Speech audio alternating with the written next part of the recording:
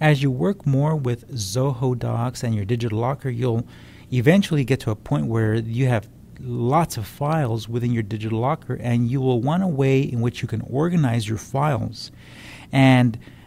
Digital Locker offers a way by creating what's are called folders, and there's sort of a, uh, a virtual folder where you can just drag and drop files inside these folders to put them into categories and organize them so they can easily find them. Now, the way you create a folder inside of your digital locker is come up to this first icon here. It's this little yellow folder lookish icon with uh, green plus on it. If you click on that, it will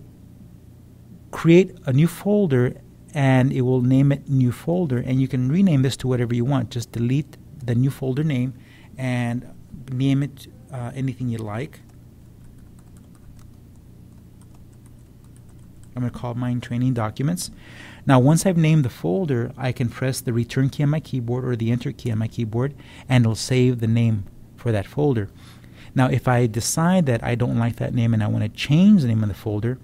I can hover over the folder name and on Windows if I right click or on Mac if I control click I will get a contextual menu and from this contextual menu I can come down here and click rename folder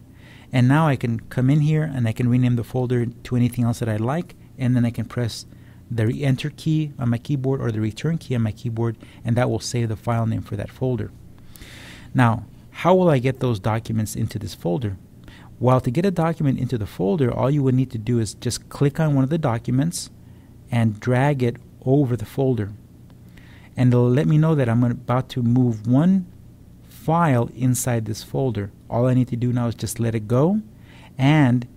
it will let me know that the copy it copied that file into that folder because now to the left of the folder there is this plus icon. If I click on the plus icon, I'm going to see the file in here, presentation for Friday.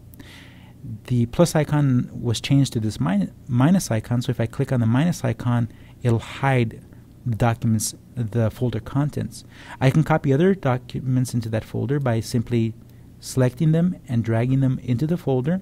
And now I have two documents inside this folder here. Now I don't have to do it one by one. I can select a whole bunch of documents and copy them into a folder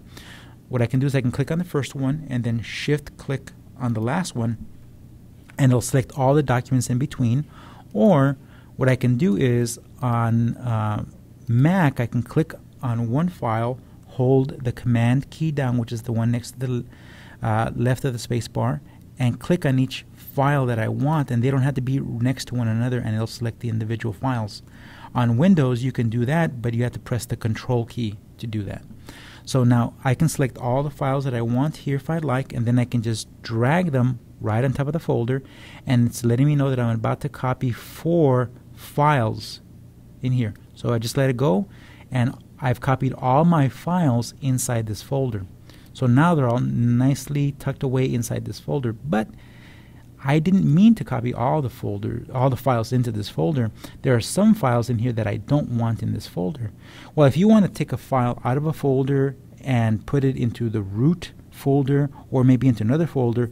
all you'll need to do is grab the file like this one here and drag it onto another folder. Or if you want to put it into the root folder, just drag it all the way up to where it reads digital locker and it'll take it out of the folder completely and put it on its own back into the root folder the way it was before. So let me show you that again. If I get this Gaggle logo footer image and I drag it up here to Digital Locker, right up here, it'll take it out of the folder and put it into the root folder where it was originally, right in there. Okay, so folders can be used to help you organize your documents and your files inside your digital locker so that you're not driving yourself crazy trying to find file in a sea of files, which you will eventually have.